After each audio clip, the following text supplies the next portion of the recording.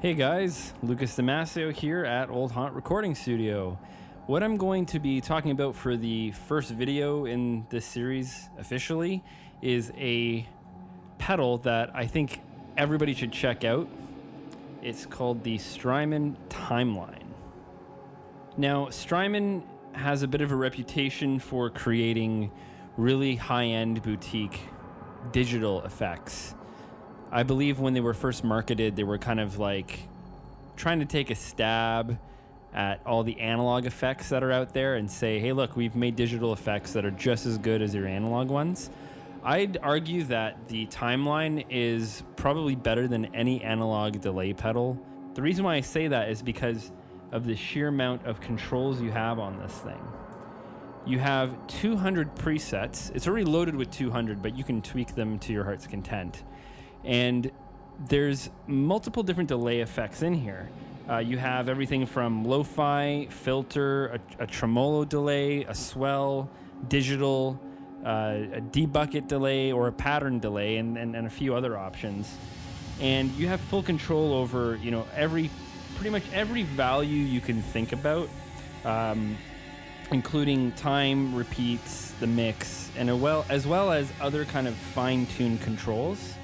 Things like chorus, flanger, phaser are all time-based effects. If you think about it, all you're doing is you're moving the waveform a bit to manipulate the tone and the effect quality of the sound. So with this, you can actually create phaser, flange, and chorus, all with the delay pedal. I use this delay pedal quite a bit on the new album, especially on I Got a Letter. I used it specifically for the lead guitars as well as the cleans. I'm going to show you what those sound like. I messed around with some presets that are on here and created my own for the cleans.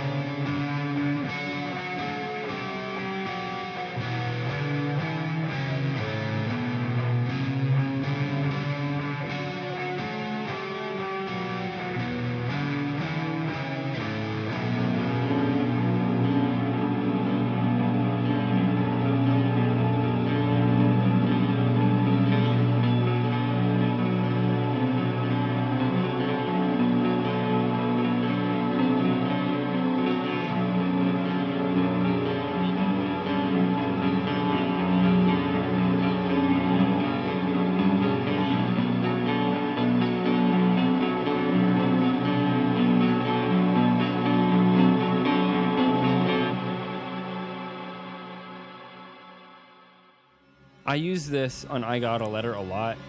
I actually use this a lot on almost every song.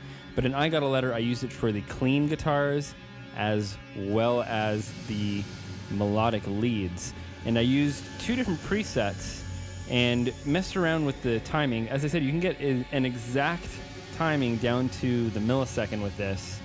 And I figured out kind of timing, rhythmic things, and tonal things that meshed really well together with this pedal in order to create something that sounded really massive and really unique.